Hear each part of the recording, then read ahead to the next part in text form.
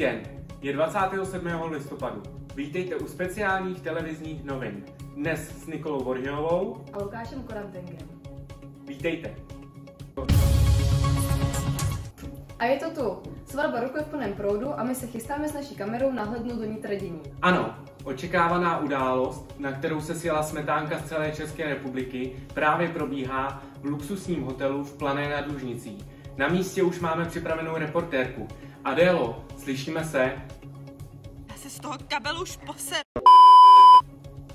E, nejspíš došlo k nějakým technickým problémům, na místo se ještě vrátíme. Teď se ale podíváme na rychlý přehled zpráv.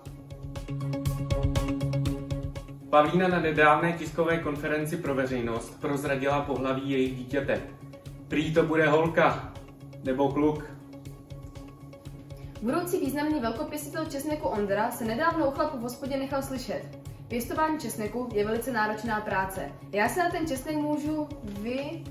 vrhnout. Až postavím dům, pak zasadím i česnek. Ať si sází, co chce, hlavně ať už nás nevolá na pomoc. Makal jsem jak černý. Novomanželé velice pečlivě zvažují, kterou leteckou společnost zvolí pro přílet jejich dítěte.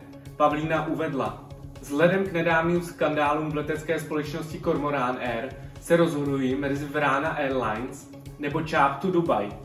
Pavlína také uvedla, že přistávací dráha v podobě krmítek je už nachystaná a čeká se jenom na to, než to s těmi ptáky dohoní.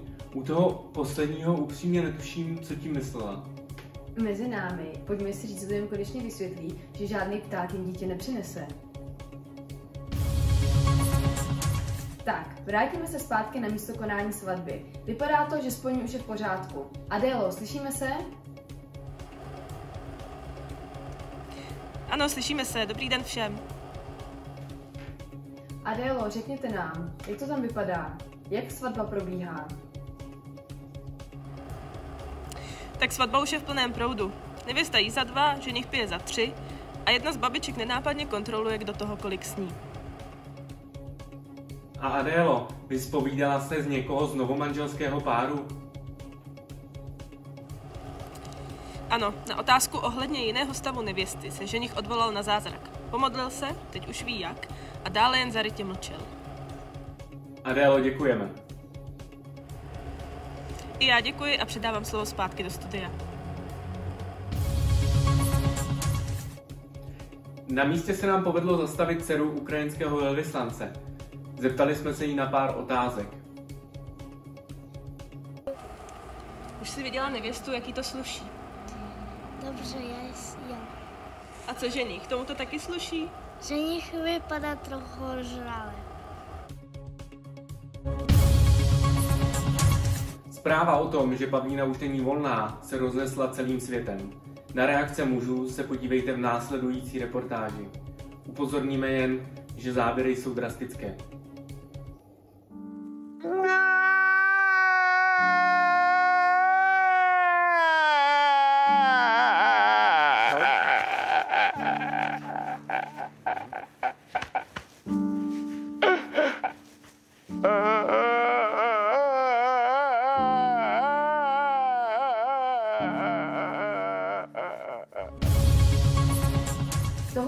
Pro dnešek vše. Hned po speciálních televizních novinách se můžete podívat na nový videoklip Sumečku 37. Mějte se krásně a třeba zase někdy na viděnou. Naschledanou.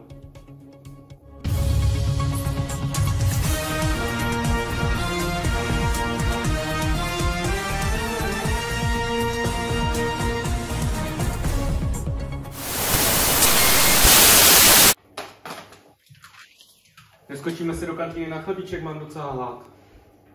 Dneska je ten velký den, ona je nevěstou, on ženichem a všechno bude sweet, tak jak má být. Potkali se, slovo padlo, posadili na sedadlo, jak to dopadlo, každý hádat smí. Už se to ví, tyhle dva budou dneska svý, už se to ví, budou dneska svý, už se to ví, tyhle dva budou dneska svý, už se to ví. Štěstí, málo pláče, do roka dva kudrnáče, pěkný teplý místo na zemi. Teď pozvedneme svoje číše, ještě o půl svý,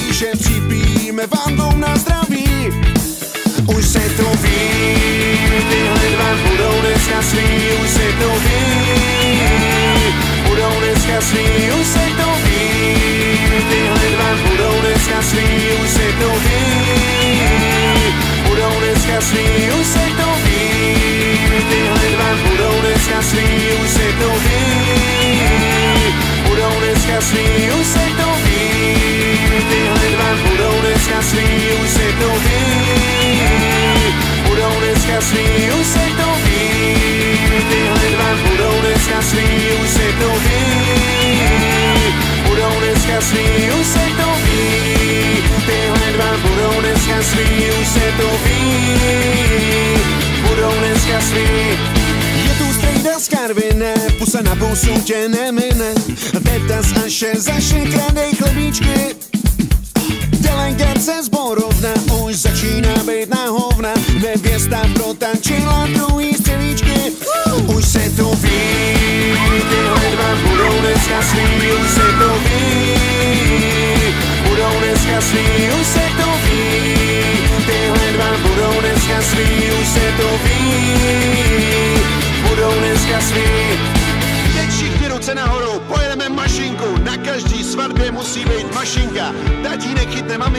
babička chytne dědečka, dokud dědeček nechytne housera. Na nejlepší svatbě tohoto roku opakujte po mně, je to jednoduchý. Její táta nemá rád jeho mámu, její máma jeho tátu ráda má. Taková velká rodina neznámá. Její táta nemá rád jeho mámu, její máma jeho tátu ráda má. Kdo se v tom sakra dneska vyznat má? Pomeš si, už se to ví. Tyhle dva budou dneska svý, už se to ví. Dneska už se to ví. Tyhle dva budou dneska svý, už se to ví. Budou dneska svý, už se to ví. Tyhle dva budou dneska svý, už se to ví. Budou dneska svý, už se to ví. Tyhle dva budou dneska svý, už se to ví. Budou dneska svý, už se to ví. Tyhle dva budou dneska svý, už se to ví.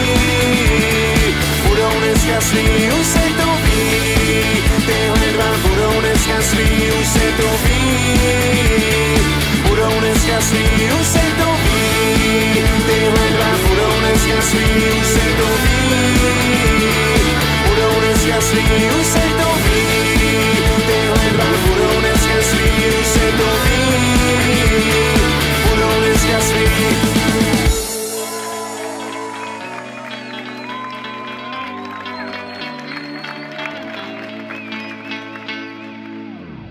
Mars, Venuša a láska Ktorá ma za inou nepustí. Vieš dobre, že ty máš ma